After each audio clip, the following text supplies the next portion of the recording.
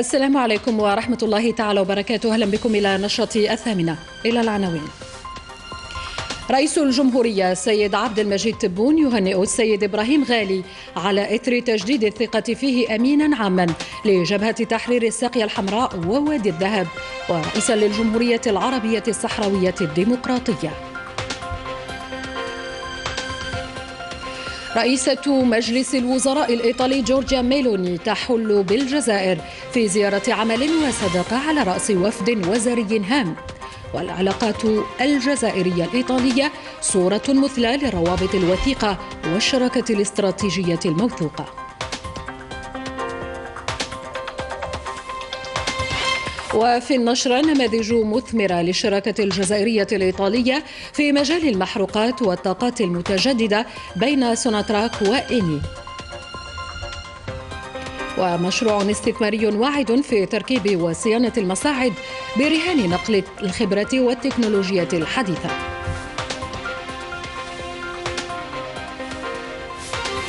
تساقط كثيف للثلوج على المرتفعات الوسطى والشرقية للبلاد. ومتابعة ميدانية من التلفزيون لجهود وحدات الجيش الوطني الشعبي ومختلف المصالح وأعوان التدخل لفتح المسالك والطرقات.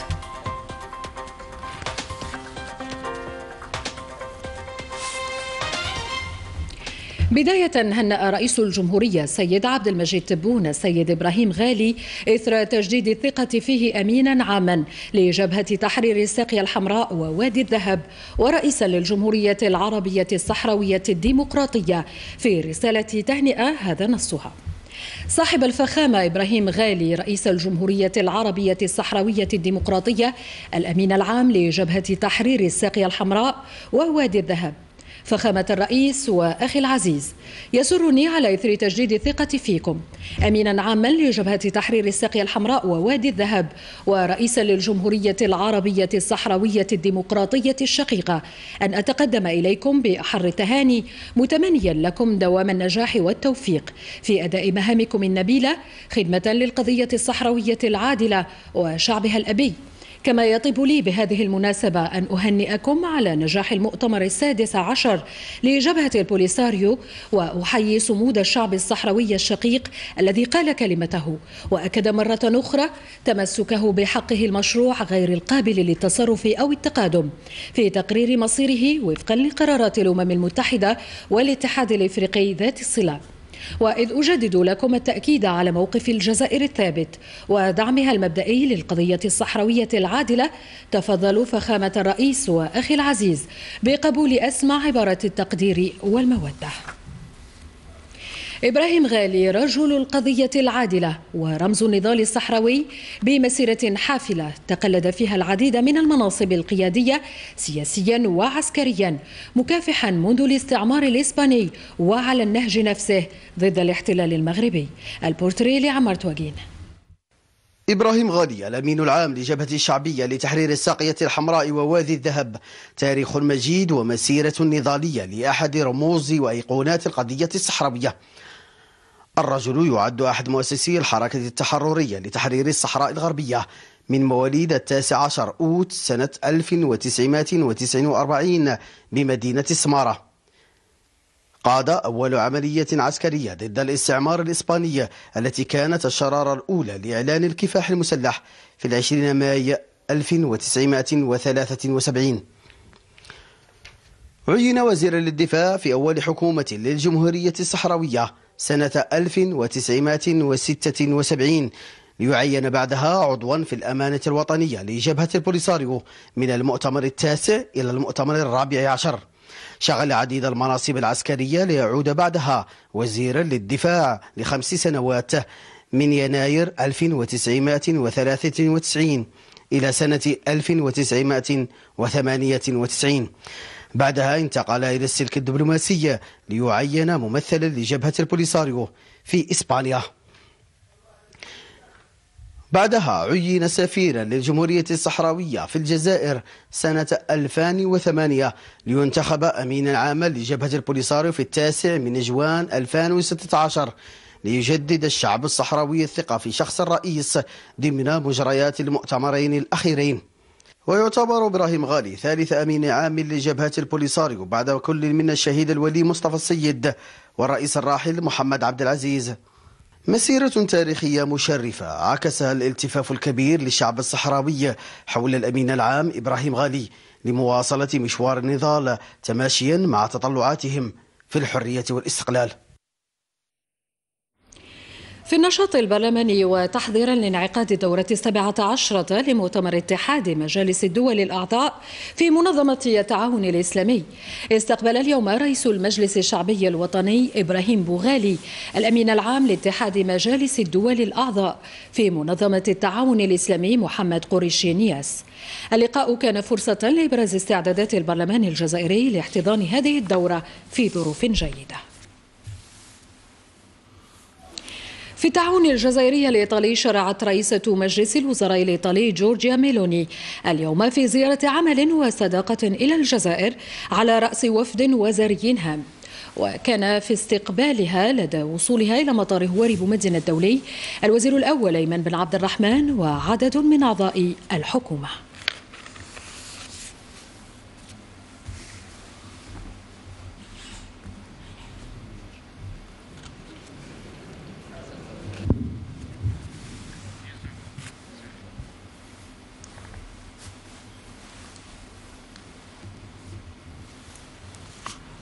وبمقام الشهيد بالعاصمة وقفت رئيسة مجلس الوزراء الإيطالي جورجيا ميلوني التي كانت مرفوقة بوزير الطاقة والمناجم محمد عرقاب. دقيقة صمت أمام النصب التذكاري المخلد لشهداء الثورة التحريرية المظفرة.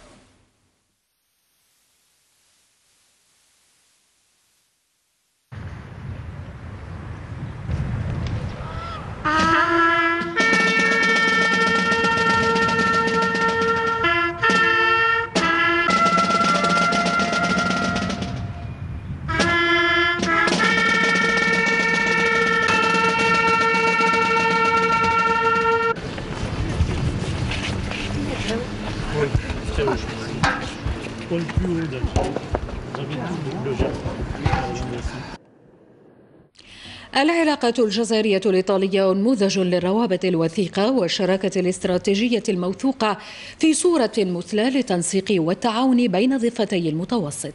الجزائر وإيطاليا تجمعهما علاقات تاريخية ونظرة استشرافية ورؤى متوافقة في ظل الرهانات الجيوسياسية الجديدة. المتابعة لحرية جرجر.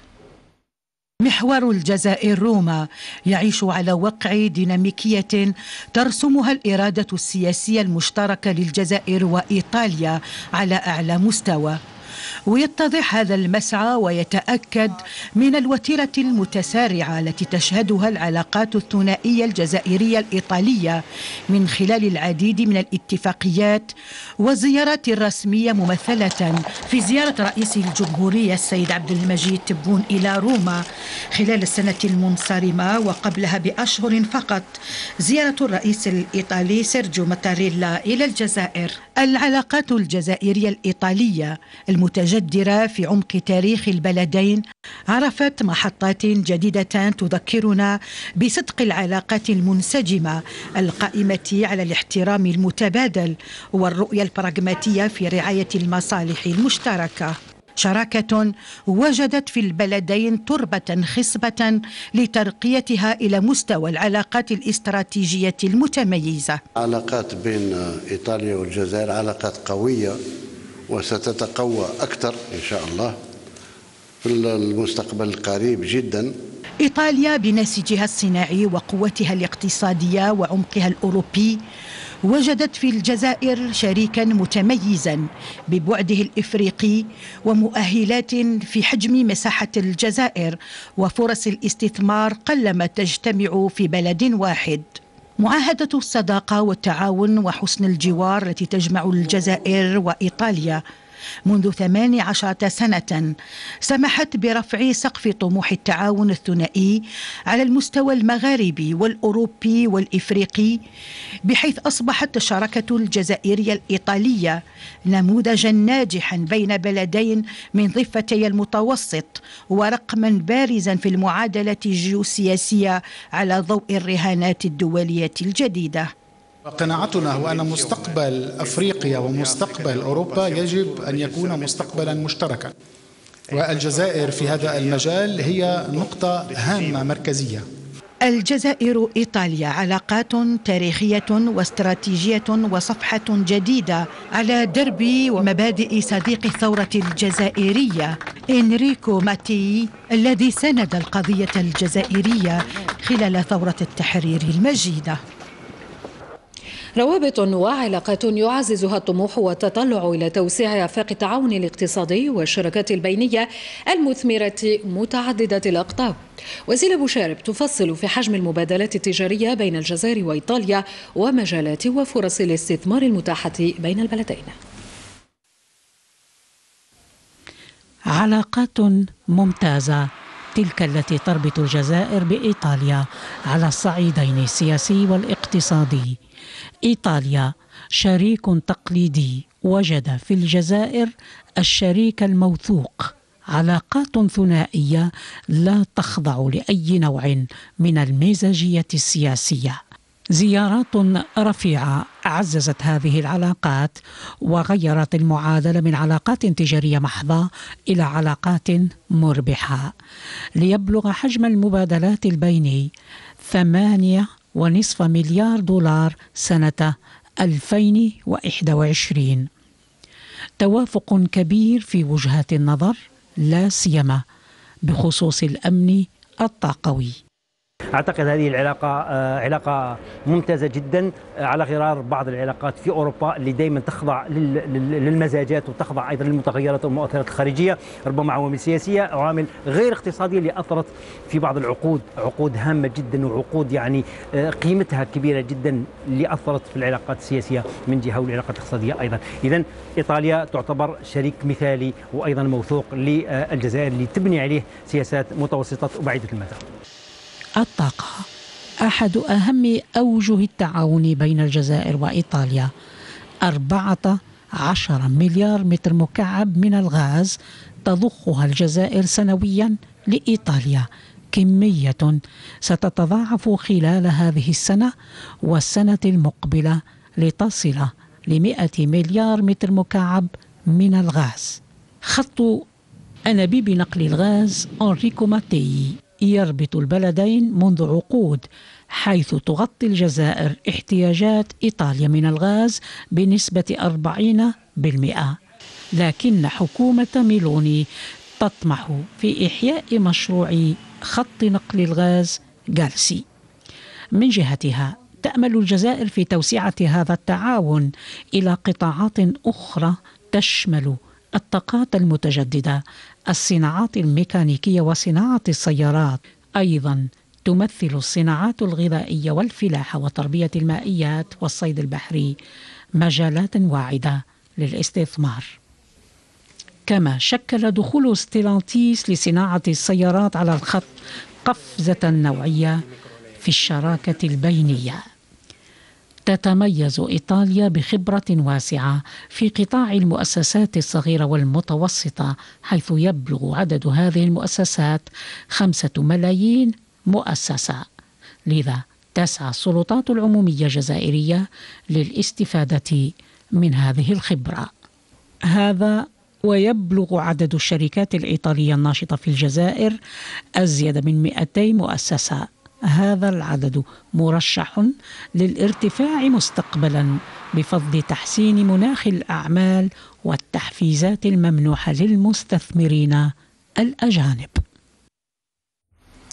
ومجال المحروقات والطاقة من بين أبرز وأهم مجالات التعاون الجزائري الإيطالي حيث يعد مركب معالجة النفط ببئر الأرباع شمال شراكة نموذجية بين سوناتراك وإيني من خلال مشاريع تطويرية عديدة آخرها محطة لإنتاج الطاقة الكهروضوئية. مصطفى هتاد الشراكة في مجال الطاقة محور العلاقات الاقتصادية بين الجزائر وإيطاليا. مركب معالجة النفط بمنطقة بير أرباع بورغلا الذي يشرف عليه مجمع سوناتراك أوني من أهم الاستثمارات المشتركة بين البلدين. منذ إنشائه يعرف المركب تطورا مستمرا من ناحية الإنتاج والمشاريع. آخر هذه المشاريع كان في مجال الطاقة المتجددة. المحطة الكهروضوئية 10 ميجاوات لإنتاج الطاقة الكهربائية. المحطة الممتدة على مساحة 20 هكتار تساهم في الحد من انبعاثات ثاني أكسيد الكربون بمقدار 9 كيلو طن في السنة. جهزت مؤخرا بمخبر لمراقبة عمل الألواح الشمسية ومردودية الإنتاج. من هذا المخبر نضع عدة أنواع من الألواح الشمسية ونجري عليها تجارب من حيث الفرق في الكمون لا تونسيون اي لو كورون ونهدف إلى اختيار النوعية الممتازة من حيث elle a l'impact sur l'environnement.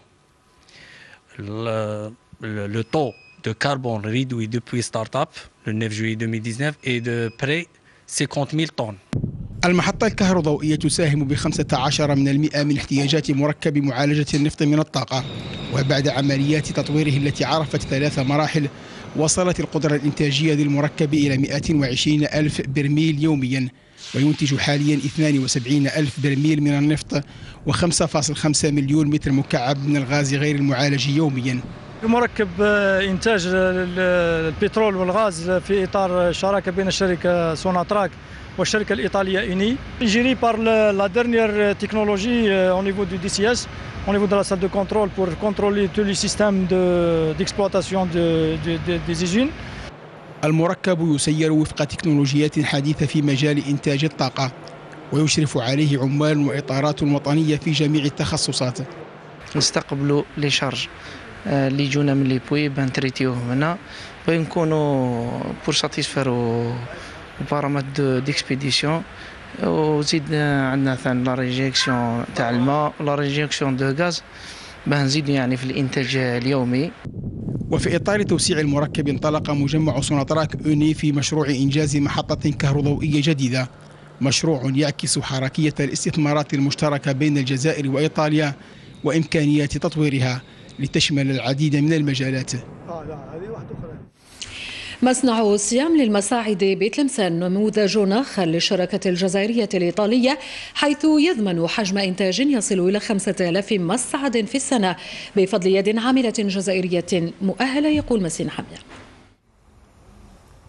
هذا المصنع الواقع بالمنطقة الصناعية عين الدفلة شتوان بتلمسان ثمرة شراكة جزائرية إيطالية جمعت شركتي سوريماب وصيام الجزائر للمصاعد تركيبا صيانة وتطويرا بشكل مستمر من خلال تقديم منتجات وخدمات عالية الجودة مبتكرة ومستدامة بقدرة إنتاجية قد تصل إلى خمسة ألاف مصعد في السنة بعد وضعها حيز الخدمة.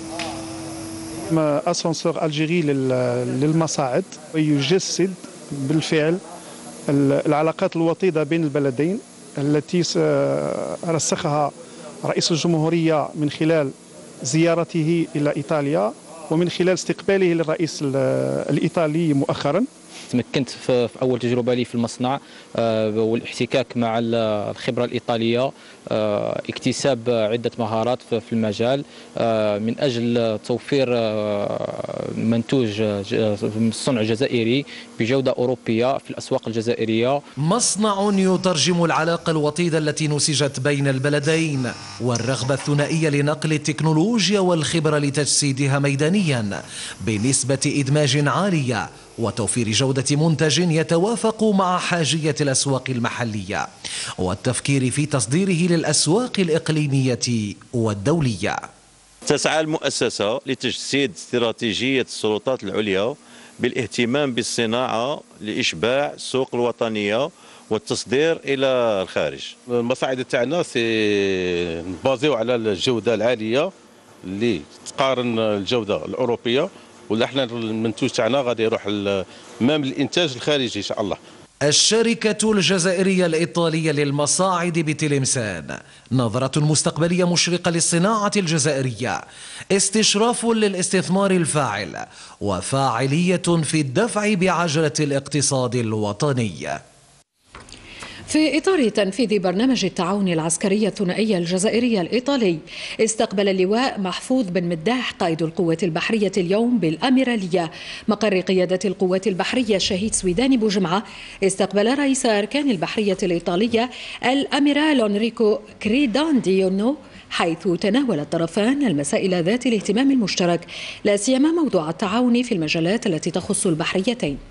وفي ذات الإطار وبهدف تعزيز علاقات التعاون العسكري بين قواتنا البحرية والبحرية الإيطالية رست يوم أمس بميناء الجزائر الفرقاطة الحربية الإيطالية كارابينيير اف 593 حيث وبعد توقف قام قائد الفرقاطة البحرية الإيطالية بزيارة مجاملة لقائد الواجهة البحرية الوسطى على مستوى القاعدة البحرية الوسطى بحضور ملحق الدفاع لدى سفارة إيطاليا بالجزائر.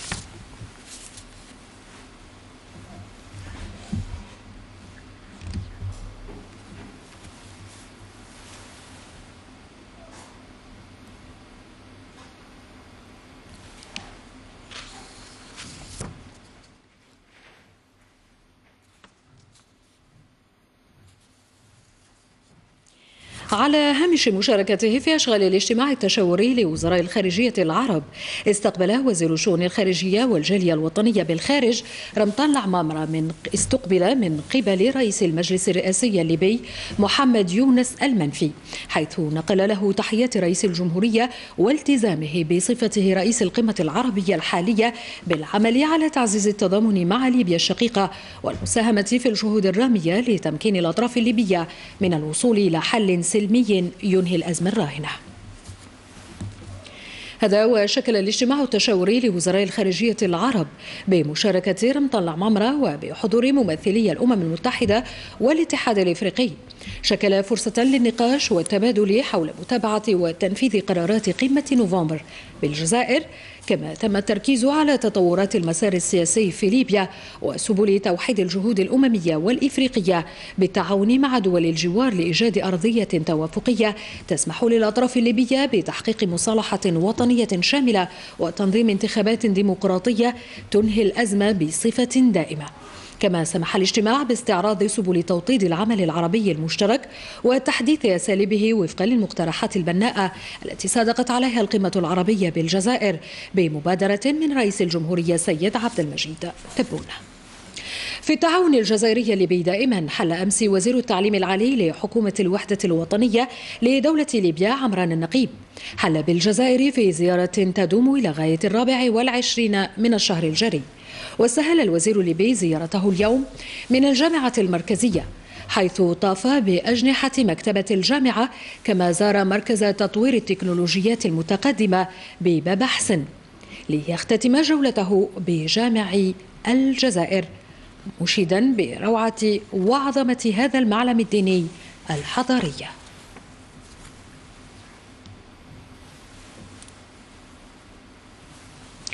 إلى أخبار الطقس وعلى إثر التقلبات الجوية التي تشهدها العديد من ولايات الوطن.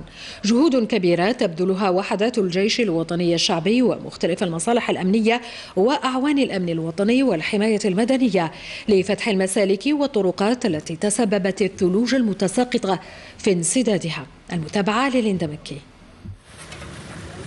تأكيدا لرابطة جيش أمة.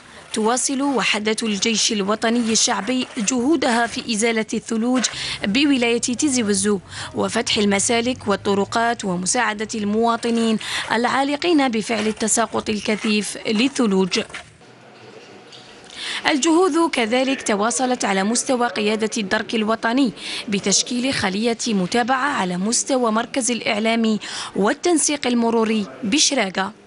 هذه الخلية مهمتها متابعة آه، الوحدات والتشكيلات آه، في الميدان وتوجيهها من أجل آه، فك العزلة على المواطنين وتسهيل حركة المرور وتقديم يد المساعدة للمواطنين كذلك. تم وضع عدة مخططات تدخل استباقية حسب خصوصية كل منطقة. أما بالمدية مصالح الأمن الوطني والحماية المدنية وضعت مخططا لتأمين حركة المرور وتدعو مستعملي الطرقات للتقيد بالسلامة المرورية. سخرت مصالح أمن ولاية مدية كافة إمكانياتها المادية والبشرية.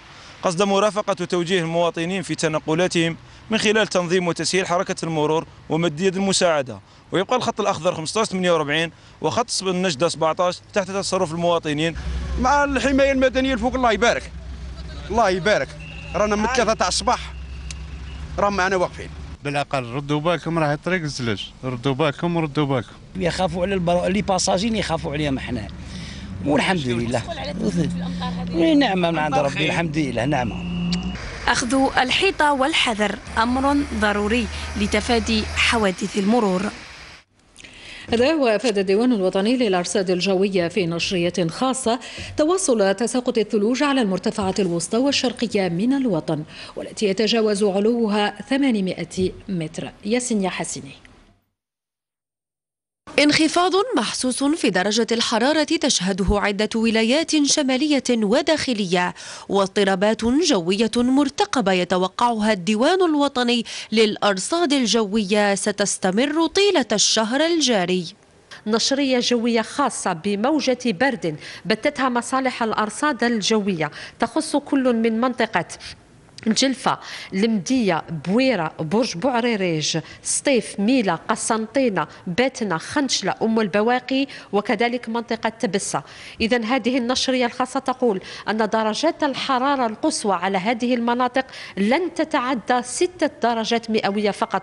أما الدنيا فقد تقارب ناقص ستة درجة مئوية أي ستة درجات تحت الصفر. وهذه الوضعية على هذه الولايات سوف تستمر يوم الأحد يوم الاثنين وحتى يوم الثلاثاء بإذن الله. ولحماية الأشخاص والممتلكات يقوم قسم التنبؤات للديوان الوطني للأرصاد الجوية بتحرير نشرات خاصة يتم فيها تحليل مختلف النماذج الرقمية العالمية والوطنية لرصد آخر مستجدات التقلبات الجوية. بعد التأكد من الوضعية من الوضعية الجوية نقوم نقوم باجتماع مع حضور مختلف مختلف إطارات ولا مختلف متنبئين على المستوى المركزي وكذلك على المستوى كذلك المتنبئين على المستوى الجهوي. وهذا للتشاور للتشاور حول الولايات المعنية بالنشريات الجوية الخاصة. هذا وسيعرف جنوب الوطن تساقط كميات معتبرة من الثلوج على مرتفعات ولاية بشار شمال الصحراء والواحات خلال الأيام الثلاثة المقبلة.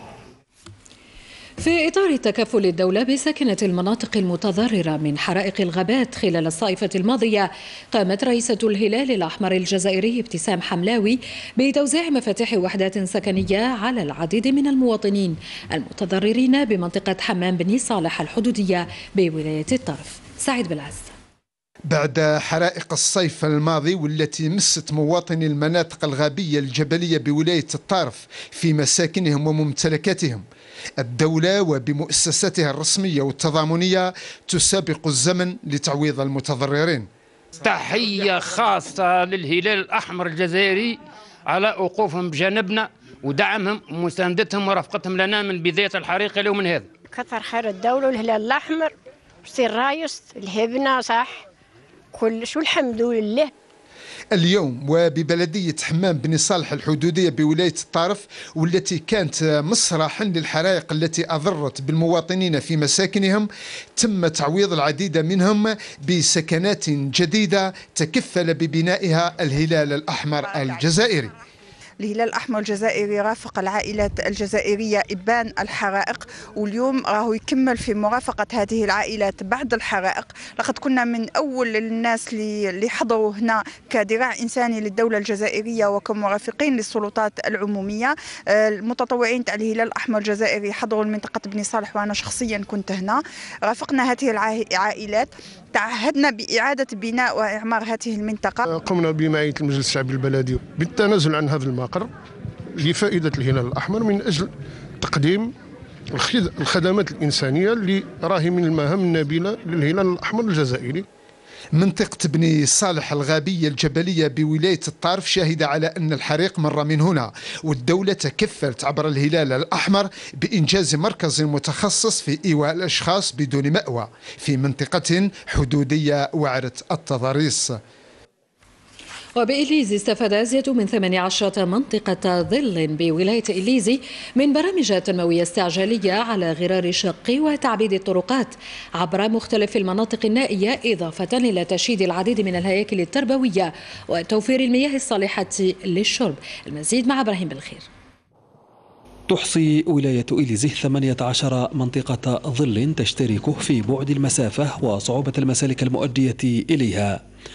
استفادت في الآونة الأخيرة من برنامج تنموي استعجالي بأغلفة مالية معتبرة بين شق وتعبير للطرقات المؤدية إلى هذه المناطق النائية وبناء أقسام توسعية ومطاعم مدرسية جديدة. بالنسبة للتنمية في ولاية الجنوب حقيقة عرفت قفزة نوعية خاصة فيما يتعلق بإنجاز المسالك نحو المناطق النائية ومناطق الظل التي آه، تحصلت على الكثير من المشاريع التنموية التي من شأنها تحسين الأطر المعيشية للمواطن. والطريق هذا بين القريات راهي تخدم ماذا بينا يكمل لنا طريق رقم ثلاثة؟ باش على الأقل المواطن يسافر في راحته والمريض وكل. ورئيس الجمهورية أعطى فرصة أعطى أعطى الأولوية لمناطق الظل وإحنا كشباب يعني كشباب هذه المنطقة وقفنا على بعض المشاريع اللي كانت يعني منجزة على مستوى بعض مناطق الظل والمشاريع اللي راهي حاليا يعني في في طريق الإنجاز ورانا إن شاء الله نحاولوا أن نكملوها 100% ونوقفوا معها مسؤولين ونوصلوا الانشغالات نتاعهم.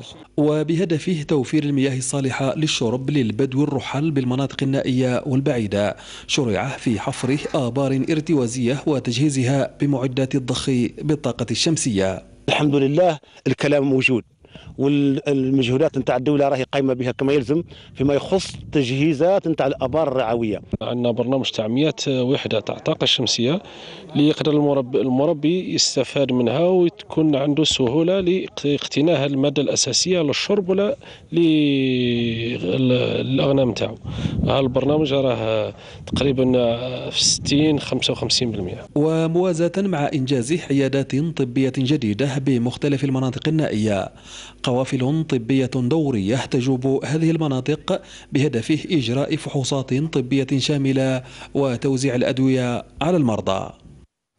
دوليا وفي الملف الصحراوي أكدت جمعية أصدقاء الجمهورية العربية الصحراوية الديمقراطية بفرنسا أن استضافة مدينة غونفرفيل أورشي الفرنسية لجمعيتها العامة هو دعم للتضامن مع الشعب الصحراوي وتفعيل للعمل السياسي والإنساني لجبهة البوليساريو في فرنسا لتمكين الشعب الصحراوي من حقه في تقرير المصير والاستقلال.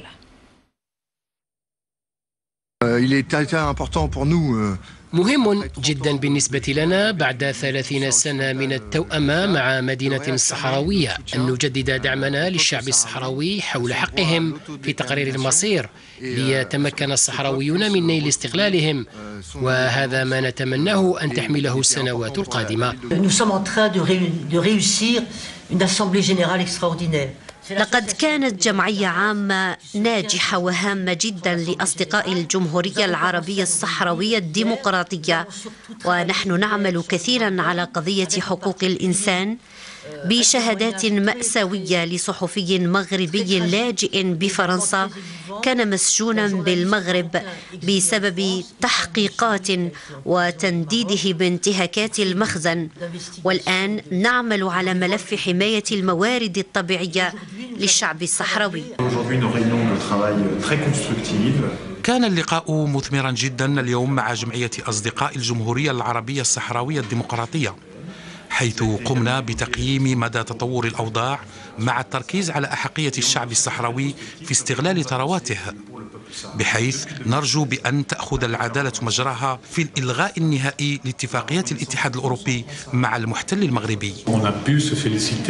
تمكنا من التقدم على مستوى العديد من الهيئات كمجلس حقوق الإنسان ونحن نطالب بالعدل في التعامل مع النشطاء الصحراويين الذين يتعرضون لاعتقالات تعسفية في نضالهم لإيصال قضيتهم.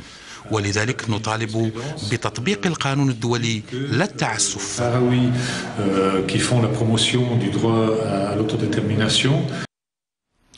بالمغرب صنف البنك الدولي في آخر تحديث له حول الأمن الغذائي صنف المغرب في قائمة بلدان المنطقة الحمراء التي تشهد ارتفاعا واسعا في أسعار المواد الغذائية الأمر الذي يفسر موجة السخط في البلاد. وعلى خلفية قرار البرلمان الأوروبي نظمت اليوم مظاهرة احتجاجية للمطالبة بإطلاق سراح كافة المعتقلين السياسيين وسجناء الرأي في البلاد فيما نظم المئات من سكان مدينة مكناس وقفة احتجاجية جابت شوارع المدينة. هذا ورحبت عدة منظمات دولية حقوقية بقرار البرلمان الأوروبي المدين لانتهاكات نظام المخزن لحرية الصحافة وحقوق الإنسان في المغرب. إلى إسبانيا الآن حيث تشهد العاصمة مدريد مظاهرات حاشدة مطالبة برحيل رئيس الحكومة الحالي بيدرو سانشيز الذي يواجه أزمة سياسية ودبلوماسية اندلعت في الأشهر الماضية بسبب مواقفه المنافية للشرعية الدولية ولجهود الأمم المتحدة.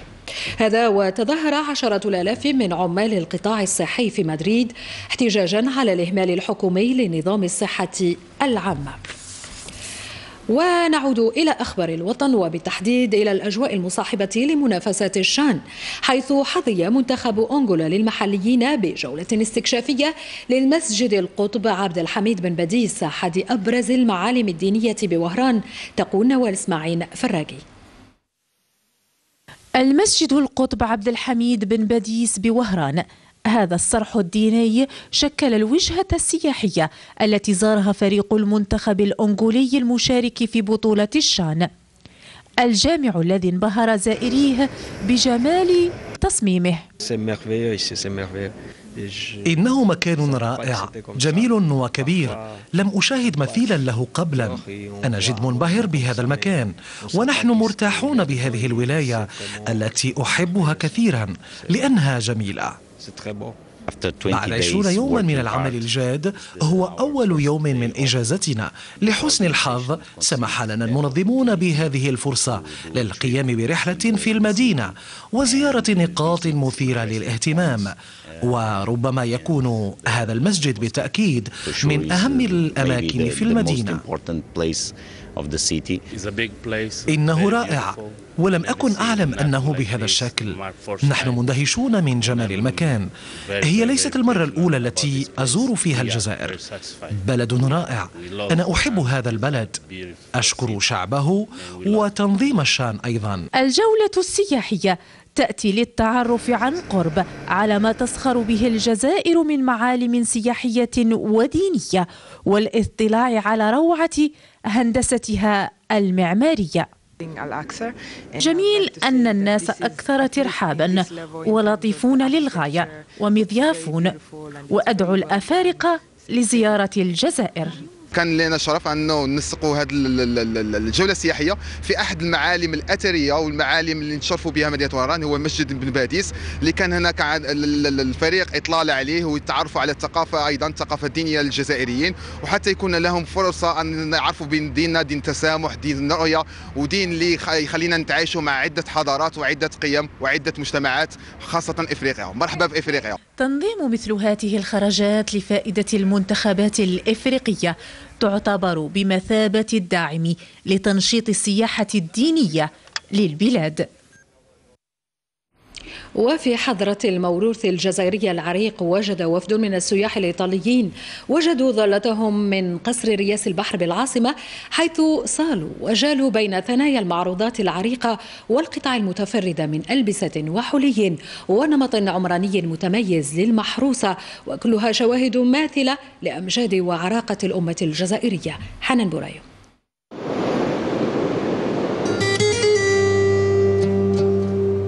من إيطاليا وفدوا إلى الجزائر وبقصر رياس البحر أو حصن 23 كانت الفسحة بين تراث زاخر ومعمار مميز للبهجة المحروسة.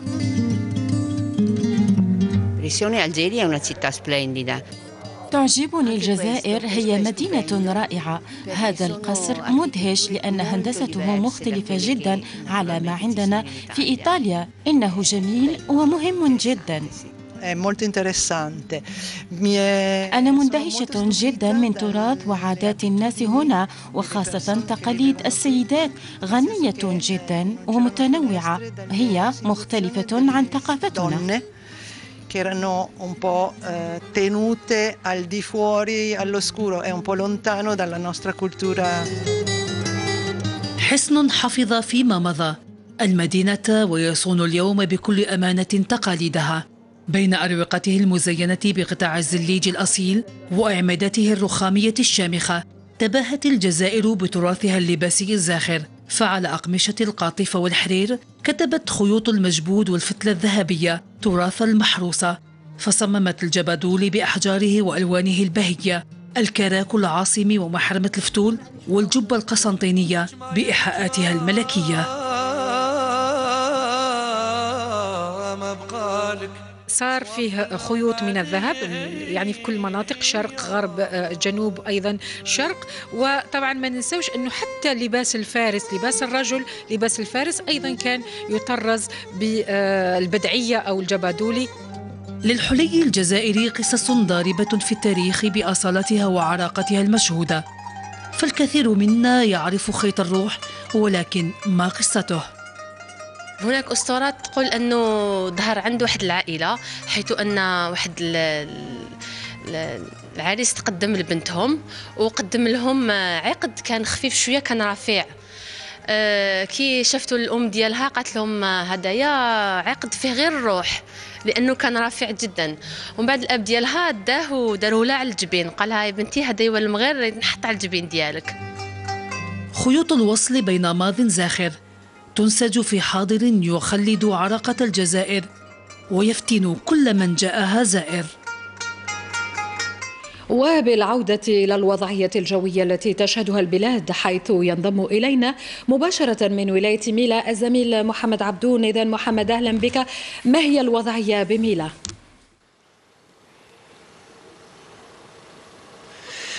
تحية لك سهام تتواصل يتواصل تهاطل الثلج. والثلوج ثلوج الخير على بلد الخير. ولاية ميلا كانت معنية بنشرية خاصة صادرة عن مصالح الأرصاد الجوية أفادت بتساقط ثلوج بتساقطات ثلجية معتبرة على مدينة ميلا على غرار باقي ولايات الوطن الغربية والوسطى.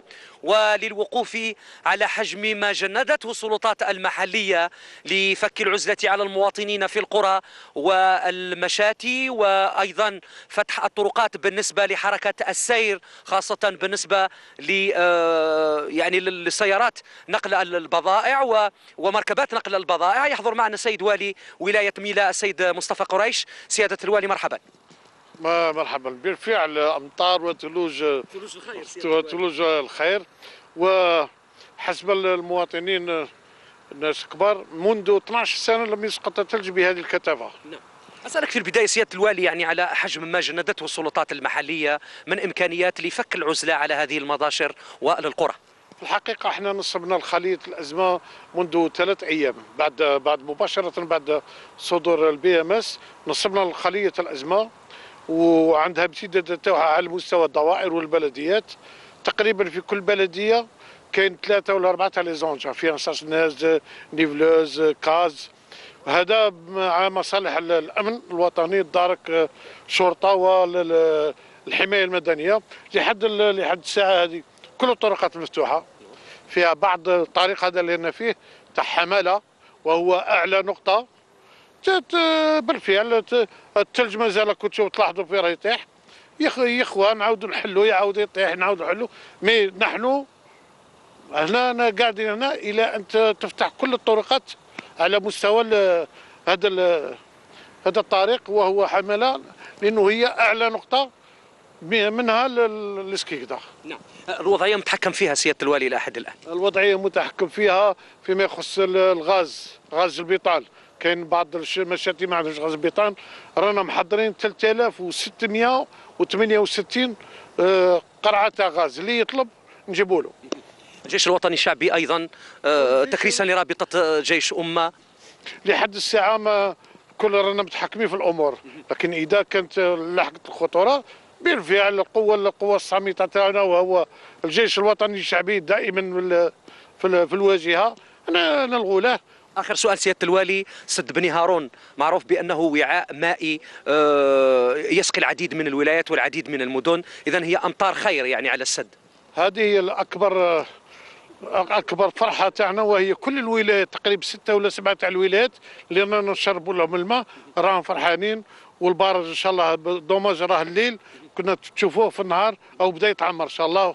وهذا بادرة خير إن شاء الله في 2000 و 23 إن شاء الله. شكرا جزيلا سيادة السيد مصطفى قريش والي ولاية ميلا. وفيناكم اذا بالمباشر للوقوف عن ما جندته ولايات الوطن تقريبا جندت نفس الوسائل من أجل فك العزلة على المناطق التي كانت معنية بهذه التساقطات تساقط الثلوج. وأعيد وأكرر بأنها ثلوج وأمطار الخير على بلد الخير. عودة إلى الزملاء بالبلاطو المركزي.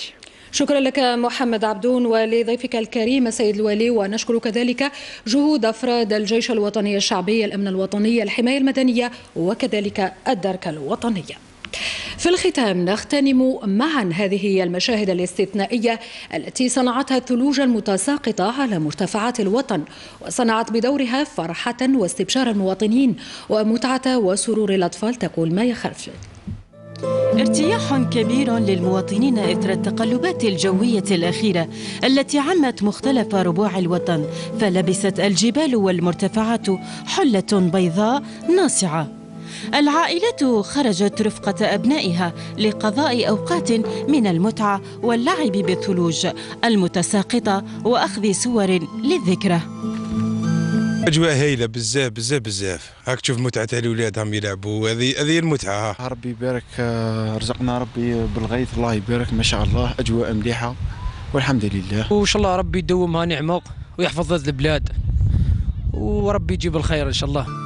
هي إذا أمطار خير وثلوج بركة تبشر بموسم فلاحي مثمر. ختام نشرتنا وهذا تذكير بأبرز ما أوردنا فيها رئيس الجمهورية السيد عبد المجيد تبون يهنئ السيد إبراهيم غالي على إثر تجديد الثقة فيه أمينا عاما لجبهة تحرير الساقية الحمراء ووادي الذهب ورئيسا للجمهورية العربية الصحراوية الديمقراطية.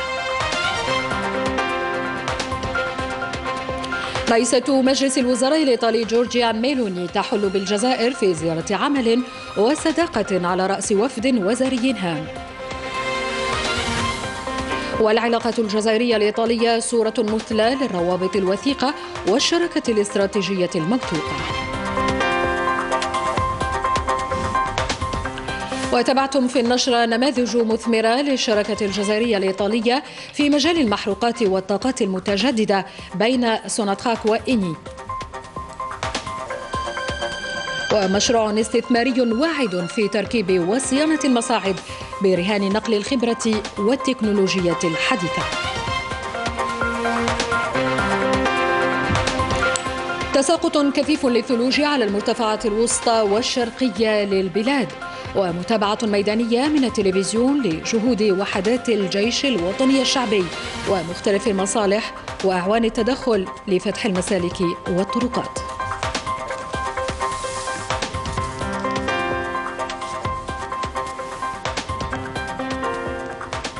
كان معكم في الإخراج كمال مالك وفي رئاسة التحرير شعيب الرحمون شكرا لكم على المتابعة. في أمان الله.